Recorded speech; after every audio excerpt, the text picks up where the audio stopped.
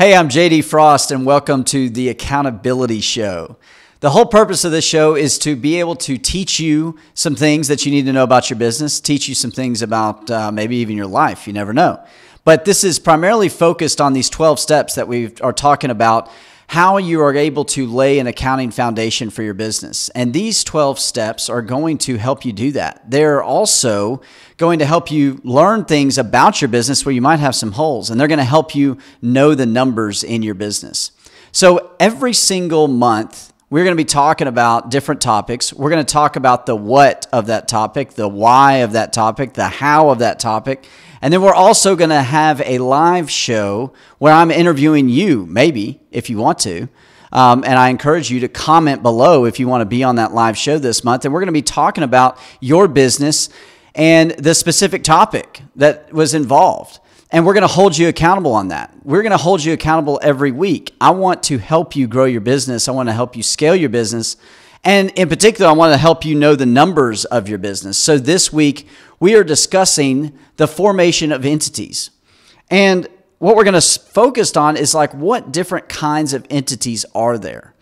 And this is a question that I get asked all the time as an accountant and a business advisor. I get asked, you know, what type of entity should I form? Well, the easiest entity for you to form is a single member LLC. That is the simplest form of an entity. It's 100% owned by you as the business owner, and, and that's it. It's a very easy entity to form. You typically don't even have to get a attorney to form it, but I would recommend that. It is something that you'd want to consult with an attorney before you before you form that entity. But that is the specific type of entity that's easiest to form. These different entities they have all kinds of different different uh, tax effects. They have different effects on partnership agreements. They have different effects about distributions and capital gains and taxation of ordinary income. So, the type of entity that you decide to form is extremely important, and you want to begin with the end in mind. So, you want to make sure that you create the correct entity for your company. And there's different ways to figure out how to do that. And that's going to be what we talk about in the future in how to choose the right entity. Right now, we're just talking about what different entities are there. There is also an S corporation, LLCs, LPs. When I say LP, that means limited partnership. An LLC is a limited liability company. There's also sole proprietorships. That is basically if you decide to go out and start to sell lemonade on the side of the road, you've created a sole proprietorship. You didn't realize it, but you did. It doesn't take any official documents to create a sole proprietorship. You can start one today, right now. I could say that the accountability show is one. So there's no requirement to have any kind of form signed or anything like that in order to form a sole proprietorship. You can form a business right now. Single member LLCs require a little bit more paperwork. LLCs, limited partnerships, S corps, they require more paperwork. S corps basically are those type of entities that really require the most paperwork as well as C corps because you actually have shareholders. Shareholders are those that own the company. Much like a partner is the one that owns limited partnerships or a partner owns LLCs. One other type of entity that you can form is called a general partnership. So if you and me decide to form a partnership, we can call it a general partnership. You only have to create an entity through the IRS website, the IRS website, in order to get a federal ID number to form a general partnership. No other documents are required. You don't even have to file with the state of Tennessee or the state that you reside in uh, in order to form a general partnership very much like a sole proprietorship. So these are the different entities that, that we have. And it's very important to know what type of entity you want to start with because there's different filing requirements for those entities. There are different annual reports that are required to be filed with the states for those entities. And as I said before, this is something that is extremely important for you to know before you form it because you want to know what the end is at the beginning. You need to know what your end result needs to be. So if you're looking to form an entity, if you're looking to start a business and you want to make it as simple as possible, you would just form a sole proprietorship. But if you want to form a business with a partner and you don't want to have a bunch of annual reports to file, state tax returns, things like that, you would form a general partnership. You want to form a company with a partner that creates limited liability for you that would separate your personal assets from your business assets. You would want to form an LLC or a limited partnership.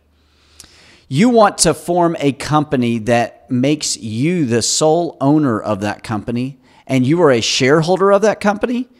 You'll want to create an S corp that will flow through to your biz to your individual income tax return. So a lot of this stuff is extremely complicated. These things have different nuances to them that most people that start businesses don't understand. But I'm trying to provide you with the idea that you've got to start out with a proper framework. You've got to start out with the proper information before you start a business so that you know what to expect and you don't get surprised because I see so many business owners get surprised because they formed a company. They don't even know if it was an S Corp, an LLC, a general partnership, or a sole proprietorship. They have no idea. And so when it comes time to file their tax return, they're lost. And I don't want you to be lost. I want you to be educated. That's a part of what this show is all about is to educate you on these steps that will allow you to know the numbers in your business. And why are why is the entity formation so in, important as far as knowing the numbers? It's important because this enables you to understand how you are taxed, understand that the income flows through. When I say flows through, that means the income in the business actually goes to your personal tax return. You might have heard people talking about flow through entities. That's what partnerships are.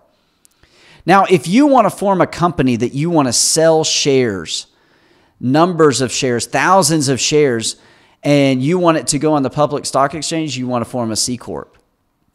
So, a lot of these different nuances are extremely important. I just want to introduce you to these as, as a part of this show so that you know that really when you're starting to know the numbers, when you're creating a business, when you're starting a business, you want to start with the end in mind and you want to start with the correct entity. This entity is the vehicle that is going to take you where you want to go. You got to picture it like it really is a vehicle, like it's a car, a truck, a van. What do you want to start with in order to get to your destination? That's what your company is. That's what your entity is that you've created. So if you start with the wrong vehicle trying to get to a certain destination, then you've wasted a lot of time. And part of my job to help you hold yourself accountable and to hold you accountable is to get you the right information to get you to the proper destination. That's what we're trying to do with this show.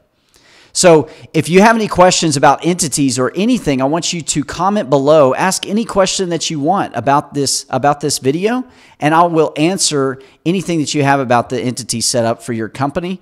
And I hope that you are able to learn more as we continue on to our next episode. We're going to be talking about the what, the how, the why we are forming entities. If you want to be coached this month, also comment below and I'll have you on the show.